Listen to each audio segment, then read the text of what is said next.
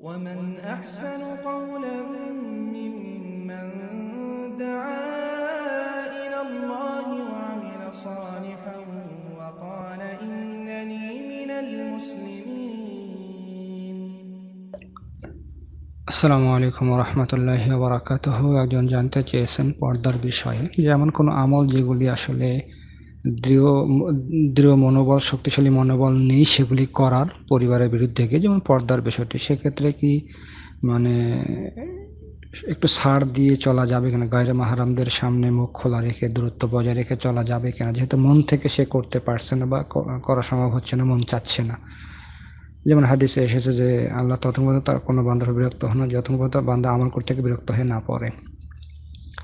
প্রথমে হাদিসের বিষয়টা আসি। আমি জানি না হাদিসটি সহি কিনা, আল্লাহ আলাম, আমি জানি না। যদি সহিও হয়, তাহলে এখানে উদ্দেশ্য কিন্তু কোনো মানে আল্লাহ যেগুলো আমাদের করতে বলেছেন, যেগুলো আদেশ করেছেন, যেগুলো আমাদের ফরজ, ওয়াজিব, নফল বা সুন্নত, যেগুলি আল্লাহ তালার আদেশ আমাদের করতে হবে। যেগুলি মানে আল্লাহ তালার নিষেধ করা যাবে না।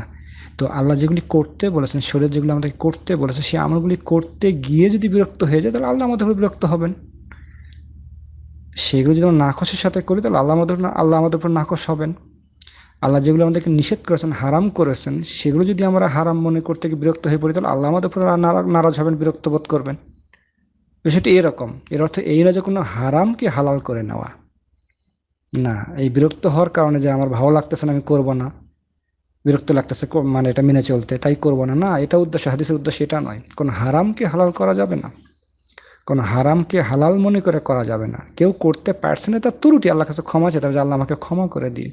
আমার এটা, আমি চেষ্টা করতেছি করার জন্য। কিন্তু অন্তত থেকে চেষ্টা করতে হবে। চেষ্টা করলে ইনশাল্লাহ সফল।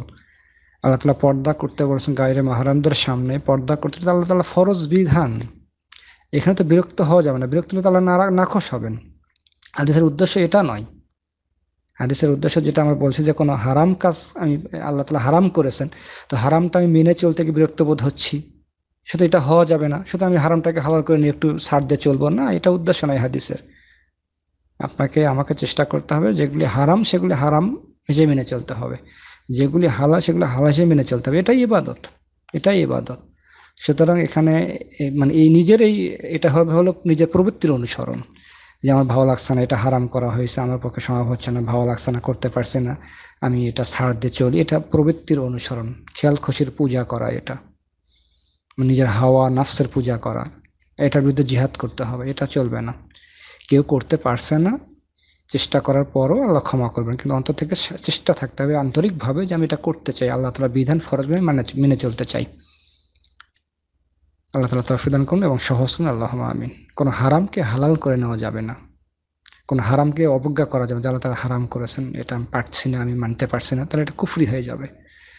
আল্লাহ তালা যে বিধান, সেটা কোনো হালালকে হারাম করা যাবে না, কোনো হারামকে হালাল করে নেওয়া যাবে না। যে কোনো কারণে হোক না কেন এটা করা যাবে না।